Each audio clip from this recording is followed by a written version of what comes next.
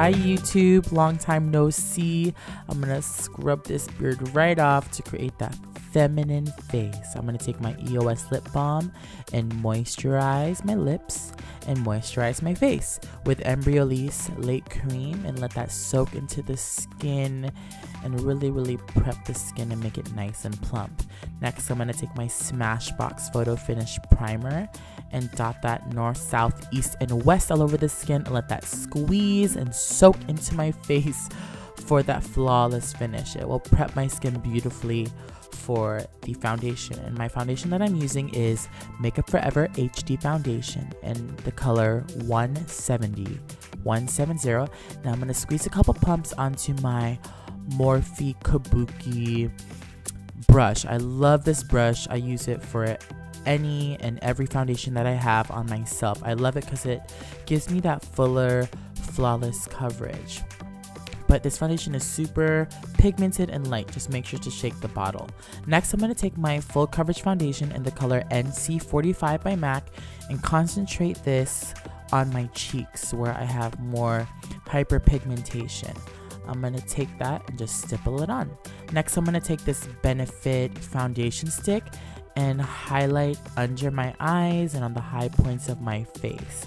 I love this product. It was given to me by a friend and I just happen to use it and it's in a stick form and it's super easy to apply. And again, I take that um, Morphe brush and stipple it onto my face. I find stippling gives me the most coverage and I love this product. Next, I'm going to set that with my trusty Airspun and Makeup Forever Powder Puff. Next, I'm going to take that um, Benefit, that same Benefit stick and highlight under my brows. And I'm going to take Groundwork and I'm going to blend that into the concealer or the foundation stick onto the lid to prep for eyeshadow. I love groundwork and it's gonna create that perfect base for the brown shadows. I'm gonna take uh, texture and soft brown. These are the lightest transition colors that I have and blend it in. Next, I'm gonna take uninterrupted and work my way down from lightest colors to the mid-tone and then next the darkest. But I'm just working my way down with a fluffy brush to create that perfect blend. I'm going to take a flat Morphe brush and mix in Swiss chocolate and handwritten eyeshadow. And I'm just going to pat that onto the mobile lid in like a half moon shape. And I'm not closing my eyes at all. I'm keeping my eyes open and wide. That way I can see the shape that I'm getting. And I just want to make sure that everything is balanced properly. So with that being said, I'm going to take my uninterrupted mustard eyeshadow by MAC and stick that into the socket and blend it in.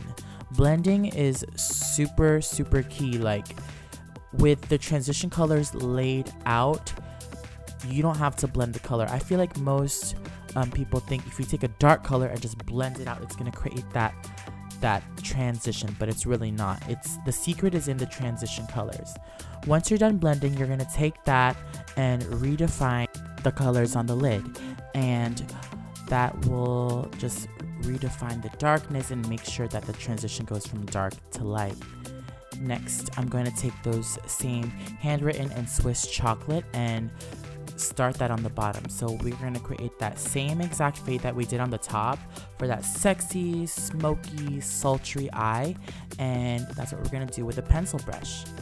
And I'm going to take again, um, handwritten and Swiss chocolate. I love these colors together because it creates that perfect chocolate brown without looking too gray.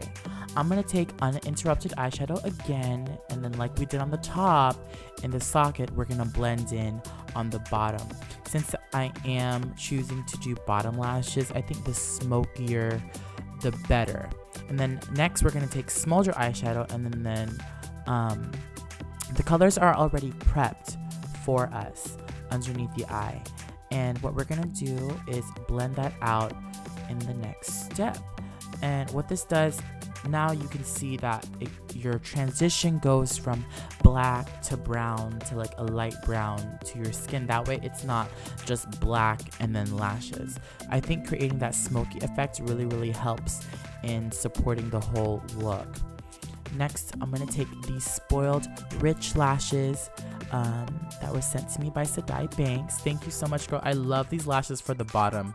These are typically for the top, but um, I love the wispies for the bottom, especially for a smoky, sexy look that we're going for today. And these tweezers came with the lashes. They're super cute, like feminine, and they're like little dancing ladies. Um, I placed the lashes underneath my own lashes to create um, that fuller effect. That way it'll blend easier. You do not want to put the lashes in the waterline. So I'm going to take um, wispy lashes on the top and these ones I got from New York at Alcone and I stacked two pairs on top and then I have one pair on the bottom. And as you guys can see, I do not have any liner on the top because the lash band is so thick and um, this look is like a go-to for me when I'm in a rush. So no liner. Next, I'm going to take this Mineralized Skin Finish um, by MAC in the color Medium Dark. And I'm going to take that onto a kabuki brush that I got from Target years ago for $6 and then just um, buff that into the skin to knock that color into my face. Next, I'm going to take this Pro Sculpting Powder by MAC Pro. You can only find it at um, the MAC Pro near you or online, and it's in the color Emphasize. I'm gonna highlight um, the high points of my face, like under the eyes, my nose, and everywhere else that I want to be to bring forward.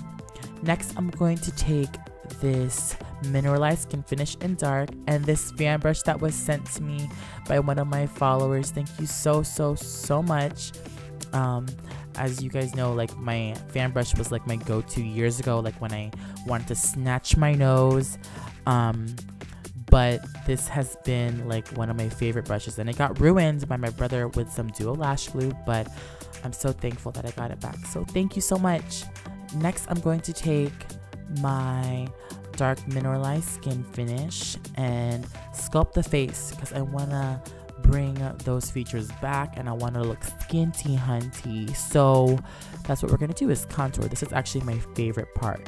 And then to redefine, I'm going to take a hair and makeup addiction brush and then contour the most hollow parts of my face with this um, Cover FX powder in B45.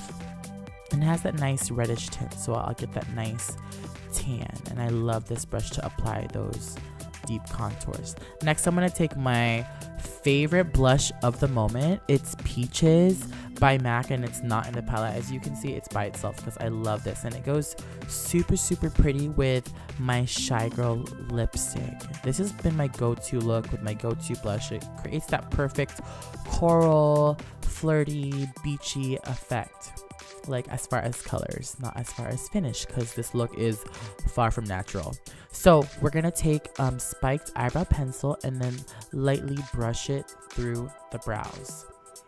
And next we're gonna take Cork Lip Pencil by MAC. And this brownie color just rounds out the look because I still want my lips to look defined but not too naked. So feathering this cork and blending it into the lip is really gonna help the Shy Girl Coral lipstick stand out. So this is my favorite lipstick and it's beautiful, it's coral, it's flirty, and it goes super, super beautiful with a smoky eye and I love it. I'm gonna take Stila lip gloss in Kitten, and that's the finished look, you guys. Thank you guys for supporting it. I know I haven't been on YouTube as often. I'm trying my best to put out videos for you guys, but I absolutely love this look. This has been my go-to look for the year as of 2014 for the past couple months. It's super easy. I don't have to do a wing liner. I don't have to do anything too fancy. And I get so many compliments um, on the lips and the eyes because it's just super elegant, natural, beautiful, sexy, and sultry. Who doesn't want to be? But please check out my other videos and please rate, comment, and subscribe.